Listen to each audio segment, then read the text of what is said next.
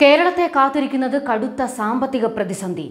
ആസൂത്രണ ബോർഡ് തയ്യാറാക്കിയ പഞ്ചവത്സര പദ്ധതികളുടെ കരട് സമീപന രേഖയിലാണ് ഇതേക്കുറിച്ചുള്ള സൂചന.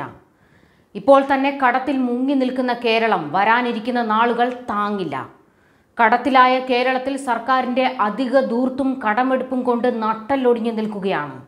ഇനിയും വരാനിരിക്കുന്നത് കടുത്ത സാമ്പത്തിക പ്രതിസന്ധി എന്ന മുന്നറിയിപ്പ് മലയാളിയെ കുറച്ചൊന്നുമല്ല വേവലാതിപ്പെടുത്തുന്നത്. ശ്രീലങ്കയുടെ അവസ്ഥയിൽ എത്തി നിൽക്കുകയാണ് കേരളത്തിന്റെ അവസ്ഥ. കടം കയറി നിൽക്കുന്ന കേരളത്തെ വീണ്ടും കടക്കണിയിലേക്ക് തള്ളിവിട്ടത് സർക്കാരാണ്. സമസ്ത മേഖലകളും താറുമാറായി നിൽക്കുന്നു. മിക്ക സർക്കാർ ഓഫീസുകളിലെയും ശമ്പളവും പെൻഷനും നൽകാൻ കടമെടുക്കേണ്ടുന്ന ഗതികേട്. പ്രഖ്യാപിച്ച പദ്ധതികൾ പലതും പാതി വഴിയിൽ.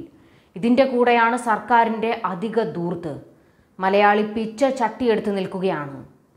രണ്ടറ്റവും കൂട്ടിമുട്ടിക്കാൻ പാടുപെടുന്നവർ വരാനിരിക്കുന്ന സാമ്പത്തിക പ്രതിസന്ധികൾ എങ്ങനെ താങ്ങും? പതിനാലാം പഞ്ചവത്സര പദ്ധതിക്കുള്ള വിഭവ സമാഹരണം ചൂണ്ടിക്കാട്ടുമ്പോഴാണ് കേരളം നേരിടാൻ പോകുന്ന നാല് വെല്ലുവിളികൾ എടുത്തു പറയുന്നത്. കേന്ദ്രം പങ്കിടുന്ന നികുതിയിൽ കേരളത്തിനുണ്ടാകുന്ന കുറവ്. കേന്ദ്രത്തിൽ നിന്നുള്ള റവന്യൂ കമ്മി ഗ്രാൻഡ് നിർത്തലാകുന്നത്. ജി എസ് ടി നഷ്ടപരിഹാര തുക അവസാനിക്കുന്നത്. കടമെടുപ്പ് പരിധി പഴയ നിരക്കിലേക്ക് മാറ്റുന്നത് എന്നിവയാണ് കേരളം നേരിടാൻ പോകുന്ന വെല്ലുവിളികളെന്ന് സമീപന രേഖയിൽ പറയുന്നു. പതിനഞ്ചാം ധനകാര്യ കമ്മീഷന്റെ ശുപാർശ അനുസരിച്ച് സംസ്ഥാനങ്ങളുമായി പങ്കിടുന്ന നികുതികളിൽ കേരളത്തിന്റെ പങ്ക് രണ്ട് പോയിന്റ് അഞ്ച് ശതമാനത്തിൽ നിന്ന് ഒന്ന് പോയിന്റ് ഒൻപത് രണ്ട് അഞ്ച് ശതമാനമാകും. റവന്യൂ കമ്മി ഗ്രാന്റായി കേരളത്തിന് ലഭിച്ചിരുന്ന വിഹിതം രണ്ടായിരത്തി ഇരുപത്തിമൂന്ന് ഇരുപത്തിനാലിൽ അവസാനിക്കുമെന്നും ജി എസ് ടി നഷ്ടപരിഹാരം രണ്ടായിരത്തി ഇരുപത്തിരണ്ട് ജൂണിന് ശേഷം തുടരാൻ സാധ്യതയില്ലെന്നും സമീപന രേഖയിൽ പറയുന്നു. സംസ്ഥാനങ്ങൾക്ക് കടമെടുക്കാനുള്ള പരിധി മൊത്തം സംസ്ഥാന ആഭ്യന്തര ഉൽപാദനത്തിന്റെ മൂന്ന് ശതമാനം എന്ന അളവിലേക്ക് തിരികെ കൊണ്ടുവരുന്നതാണ് സംസ്ഥാനം നേരിടാൻ പോകുന്ന മറ്റൊരു തിരിച്ചടി. കോവിഡിന്റെ പശ്ചാത്തലത്തിൽ ഇത് നാലര ശതമാനമായി ഉയർത്തിയിരുന്നു.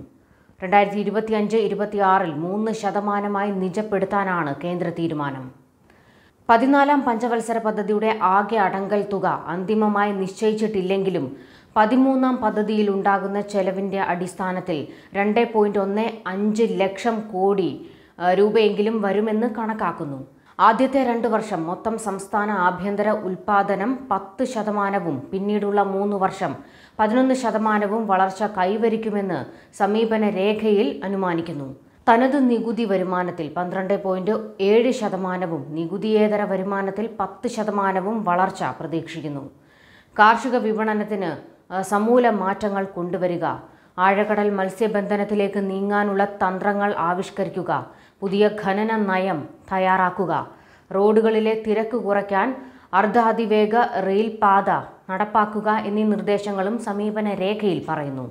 അടുത്ത ഇരുപത്തിയഞ്ച് വർഷത്തിനുള്ളിൽ കേരളത്തിലെ ജീവിത നിലവാരം അന്തർദേശീയ തലത്തിൽ ഒരു വികസിത ഇടത്തരം വരുമാനമുള്ള രാജ്യത്തെ ജീവിത നിലവാരത്തിലേക്ക് ഉയർത്തുകയാണ് പഞ്ചവത്സര പദ്ധതി ലക്ഷ്യം വയ്ക്കുന്നതെന്ന് സമീപന രേഖയിൽ വ്യക്തമാക്കുന്നു. പഞ്ചവത്സര പദ്ധതിയുടെ പ്രധാന ലക്ഷ്യങ്ങൾ ഇവയാണ്. മാനവശേഷി ഉപയോഗപ്പെടുത്തി ഒരു വിജ്ഞാന സമൂഹം കെട്ടിപ്പടുക്കുക. ശാസ്ത്രം സാങ്കേതികവിദ്യ ആധുനിക നൈപുണികൾ എന്നിവ എല്ലാ മേഖലകളിലും പ്രയോജനപ്പെടുത്തുക. ആധുനികവും തൊഴിൽദായകവും ഉൽപാദനക്ഷമവുമായി സമ്പദ്ഘടന കെട്ടിപ്പടുക്കുക.